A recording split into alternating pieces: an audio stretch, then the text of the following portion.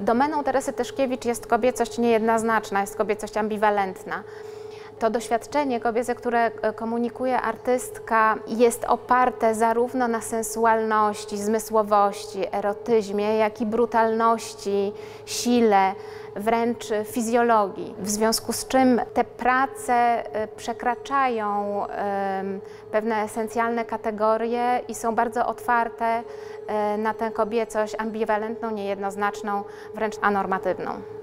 Istotnie e, muzeum poszukuje artystów, którzy niekoniecznie są znani szerokiej publiczności, a e, naszym zdaniem e, wnieśli bardzo istotny wkład do historii sztuki nowoczesnej czy współczesnej.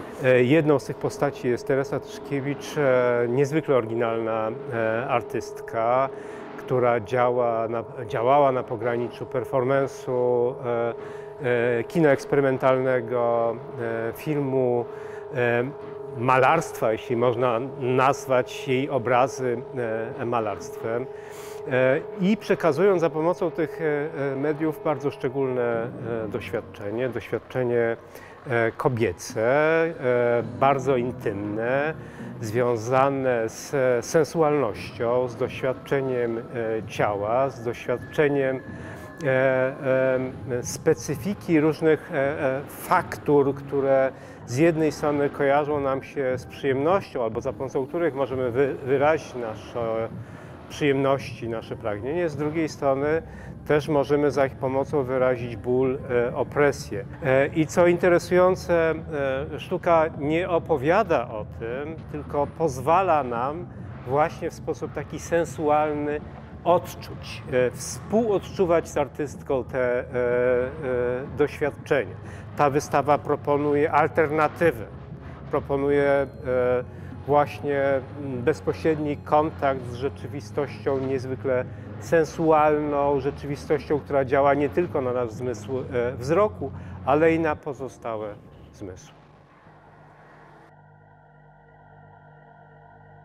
W zasadzie wszystkie prace Tyszkiewicz związane są z e, taką najbardziej osobistą i intymną e, sferą jej życia. Są bardzo cielesne i ciało jest ich źródłem. E, ciało doświadczające przyjemności, ale przede wszystkim ciało jako medium, ciało jako źródło doświadczenia, nierzadko bolesnego.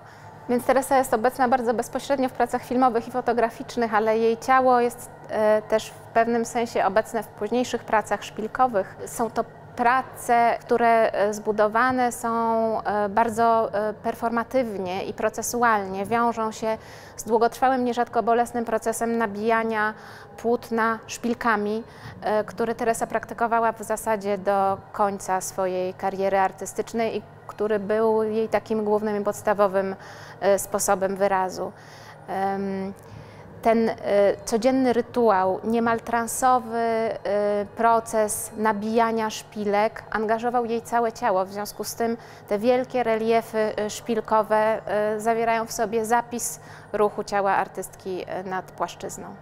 Tym bardziej w tej przestrzeni dojmująca jest nieobecność artystki. Tak jak Państwo wiecie, Teresa odeszła podczas pracy nad wystawą i e, w związku z tym wystawa, która w naszym zamyśle miała być pewnym otwarciem na jej twórczość, pewną instalacją sensualną i zmysłową, prezentującą e, jej uniwersum twórcze, stała się poniekąd, wbrew naszej woli, pewnym podsumowaniem.